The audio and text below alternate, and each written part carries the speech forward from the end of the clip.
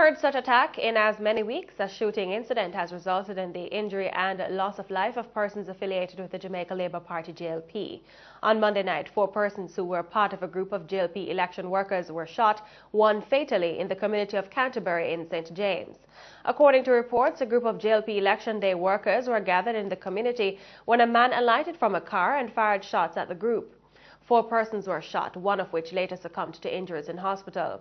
Assistant Commissioner of Police in charge of Area 1, Winchroy Budhu, says the latest in this spate of incidents affecting JLP supporters is not politically motivated. What I can say at this time, based on the on investigations and the intelligence, is that it is not politically motivated and it has nothing at all to do with politics. All three incidents are, were, were not politically motivated. And what I mean is that it was not a PNP uh, shooting up JLP. The first one in, in Sam Sharpe Square took place in, in, in, in, the meeting, and the, the, the, nomination day, the motorcade that was shut up was also shut up in, in, in, in the vicinity of where one of the deceased at Sam Sharpe Square retired. Um, this incident uh, a, a particular individual was in the vicinity who is a known gang leader and who is in conflict with other persons within the community. And a matter of fact, he's also reporting on condition of bail. And one of the conditions is that he should not have been in that area. And he was the target. Unfortunately, some other persons were injured, one of today. Persons in the community and surrounding areas are in fear that this shooting will spur reprisals. ACP Budhu says police presence will be intensified in the area to prevent this from happening. We have intensified our presence. We are we are putting additional police presence in the area, and it will be so going forward. And we are conducting our investigations with a view of finding those responsible for for the, the crime. We will have foot and mobile patrol inside that space uh, to prevent uh, reprisal. But you are to also know the area is wide and it, it's going to be very difficult to really police all the areas. But as much as possible, we are going to be preventing persons from coming inside the area because the, pers- the, the perpetrators, for instance, last night, uh, we believe that they are not living in that general space. And the, the target is basically, I, uh, my information is, is at station at this time. And I mean the person who was the target last night. Still on the political scene, the Jamaica Labour Party JLP pulled out all the stops on Sunday to secure votes ahead of Thursday's elections. Party leader Andrew Holness pulled no punches as he pointed out the shortcomings of the Portia Simpson Miller administration over the last four years. Leslie Ann Sherwood tells us more. Jamaica Labour Party leader Andrew Holness says his party is the only way to move the country from poverty to prosperity. Speaking on Sunday at the party's last mass rally before the February 25 general elections, Holness says it amazes him that the People's National Party PNP is so averse to his party's plans to remove personal income tax. I have a plan to grow the economy. We have listed the 10 points, but the one that gives the PNP heart attack every time people talk about it is 1.5. He cited instances where he says the People's National Party has failed. For instance, the party's decision to not follow through on the JLP's existing deal with lending agency, the International Monetary Fund IMF, in 2011. They had six months remaining on the IMF deal that we left there. Six months. In that six months, they could have continued with the old IMF program as we had planned to do. Implement tax reform, continue with the divestment program, and implement the growth inducing strategy which we asked the PIOJ to develop. Instead, they did nothing for six months. And in that six months, the dollar shot up to almost a hundred. Our reserves plummeted to below a billion dollars. And then they say that we were the cause of the instability of the Jamaican economy. Lie them telling, lie them telling. What they did was to allow the six months to run off and then say they have no IMF deal and then talk about them trying to negotiate the best deal. But the deal where them get cost you $52 billion or more in new taxes since they have been the government. You are $52 billion poorer because Peter Phillips never followed through on the existing IMF program. Mr. Holness says he's still waiting on the PNP's Jeep to take effect. Four years ago, they promised Jeep as a solution to unemployment. Ono see the Jeep?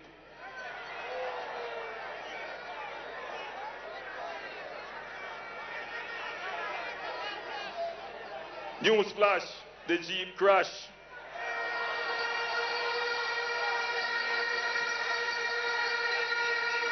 Oh, no, no, sorry. Sorry, I know I misread the news flash. Bad gas broke down the Jeep. He also lambasted the finance minister for what he says are untruths about the future of job security in the country. They promised that there would be no job cuts. They promised no job cuts when they take over. The IMF warned them and tell them, if you don't grow the country, then you will have to take undesirable measures. The permanent secretary, or what we call them, the financial secretary in the Ministry of Finance, gave a little hint that there would be job cuts coming. The minister him jump in same time and said, no, no job cuts. The head of EPOC, their oversight committee, give a hint, job cuts coming. Him run to parliament the next day and say, no, no job cuts. Recently, some journalists back him up and him say, well, we're going to reorganize the, the public sector and yes, there might be some job cuts, but I don't know how much. The JLP leader says that the PNP continues to show their disregard for the Jamaican people and it's time for the people to take a stand. They have reduced our democracy. They have disrespected you. They have said to you that they don't need to tell you anything for you to vote for them because as far as they are concerned, they own you and they own Jamaica. So they can disrespect you any way they want.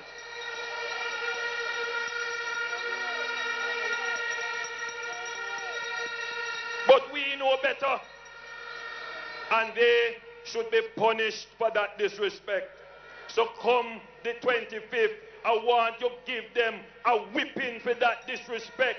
Come the 25th, come out in your numbers, well thinking Jamaicans, and show the PNP that they cannot take your views and your vote for granted. They must respect the democracy, and if they talk about people power, they must respect the power of the people, and you must come out and show them that you have power to change them. I'm Leslie Ann Sherwood for CEEN Caribbean News. The 2016 national leadership debates between the People's National Party and the Jamaica Labour Party did not take place as expected. The PNP called off the debates, citing the need for more information on the funds being used to build the JLP leader Andrew Holness's house in Beverly Hills, St. Andrew. The JLP Southwest St. Elizabeth candidate Floyd Green took offense to the PNP stance since they have refused to discuss several issues that he says the Jamaican people want answered. This government cannot bring the change. This government does not understand the change that we need. This government lacks ideas. This government lacks vision. You ask them what have they done. Them say look for Andrew House. You ask them what them plan for do. Them say look for Andrew House. You ask them how so much people so poor. Them say look for Andrew House. Bad mind. I'm gonna kill them over Andrew House love.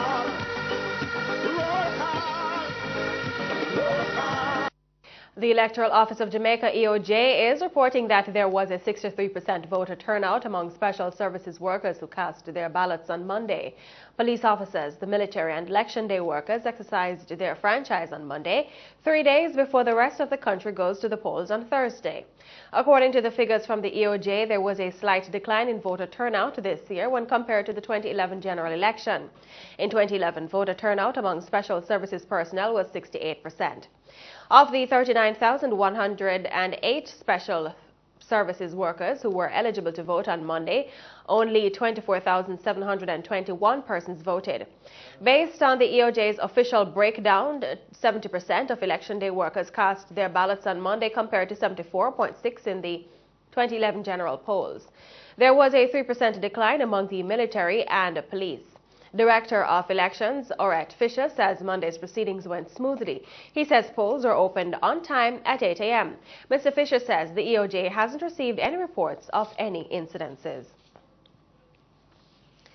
CARICOM will be sending an electoral observation mission to monitor the general elections to be held in Jamaica on Thursday. The mission is being headed by Josephine Tamai, Chief Elections Officer of the Elections and Boundaries Department in Belize. The team arrived on Sunday and will depart on February 27.